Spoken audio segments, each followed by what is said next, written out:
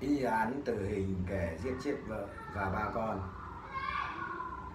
Ngày 26 tháng 8, Hội đồng xét xử phúc thẩm Tòa án Nhân dân cấp cao tại Đà Nẵng tuyên bác kháng cáo giữ nguyên mức án tử hình về tội giết người đối với bị cáo Hồ Xuân Hải, sinh năm 1971, chú xã Cam An Nam, huyện Cam Lâm. Hội đồng xét xử nhận định hành vi phạm tội của bị cáo đặc biệt nguy hiểm cho xã hội trực tiếp tước đi tính mạng của nhiều người, gây tâm lý hoang mang, tạo bất ổn lớn trong dư luận xã hội, gây ảnh hưởng xấu tới tình hình an ninh, trật tự trật tự tại địa phương.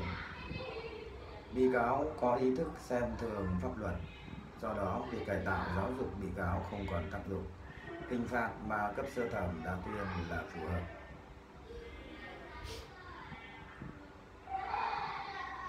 Theo hồ sơ, vợ chồng Hải có ba con trùng, lớn nhất sinh năm 2002, nhỏ nhất sinh ngày 15 tháng 6 2013. Vợ chồng Hải đầu tư chạy nuôi heo nhưng thua lỗ, không có khả năng trả nợ. Ngày 22 tháng 8 2023, Hải truy cập vào mạng Internet, tìm hiểu cách gây ngạt khí bằng CO, sau đó đi mua một bình khí CO 40 lít về cất giấu tại ngôi nhà vắng chủ cạnh nhà mua dây ống, nước bằng nhựa. Đêm đó khi vợ con hải vào phòng đóng kín cửa, bật máy lạnh ngủ. Hải ngồi uống rượu và tiếp tục xem điện thoại, nghiên cứu cách gây tử vong bằng khí co khoảng 2 giờ sáng hôm sau, hải nâng bình khí co đến cửa sổ phòng vợ con đang ngủ. Xả khí co vào phòng qua dây ống nước đã mua, làm vợ con hải tử vong sau đó Hải cất bình khí CO về chỗ cũ và phòng ngủ đóng cửa nằm dưới chân vợ con.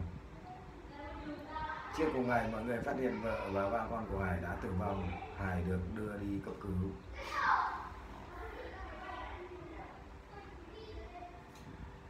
Giả bán cho bị cáo đâm chết người làm thuê.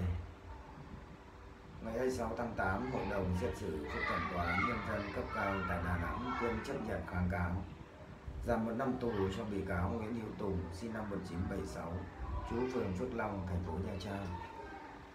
Do bị cáo đã tiếp tục bồi thường 240 triệu đồng cho gia đình bị hại. Như vậy, bị cáo chỉ phải chấp hành 15 năm tù về tội giết người. Theo cáo trạng, Tùng là người nhận xây dựng hàng rào tại xã Phước Đồng, thành phố Nha Trang.